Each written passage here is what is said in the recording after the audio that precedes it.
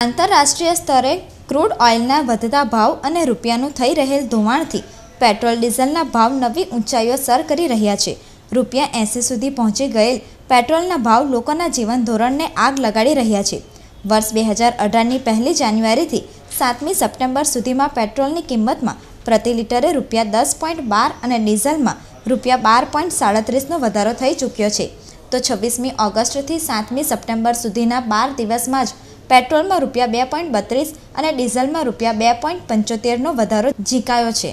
રોજે રોજ વધતા પેટ્રોલ ડીઝલના ભાવથી વપરાશી વસ્તુઓના ભાવમાં પણ પાંચથી આઠ ટકા સુધીનો ભાવ વધારો થશે, જેથી મોંઘવારીનો માર વધુ પડશે. પેટ્રોલ ડીઝલના સતત વધતા ભાવ સામાન્ય મધ્યમ વર્ગીય પરિવારો માટે અસહ્ય થઈ રહ્યો છે, જેના કારણે તેઓના બજેટ ખોરવાઈ જતાં બે છેડા ભેગા કરવામાં પણ મુશ્કેલી થઈ રહી છે. સરકાર અને પેટ્રોલિયમ કંપનીઓની અણઘડ નીતિ અને આયોજનના કારણે પેટ્રોલ ડીઝલના ભાવ આગામી દિવસોમાં સેન્ચુરી મારે તેવી સંભાવનાઓ વ્યક્ત થઈ રહી છે.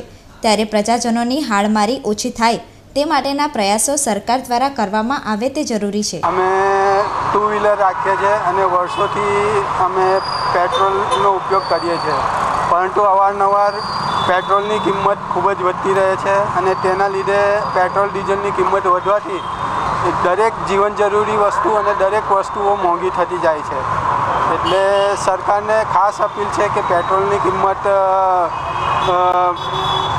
સ્થગિત રહે અને ઘટતી રહે કે જેથી દરેક લોકોને, મધ્યમ વર્ગ, ગરીબ લોકોને અને દરેકને વેપારી વર્ગ અને નોકરિયાત વર્ગ દરેકને ઉપયોગી થઈ પડે અને દરેકને લાભ થાય. એ માટે નમ્ર વિનંતી છે.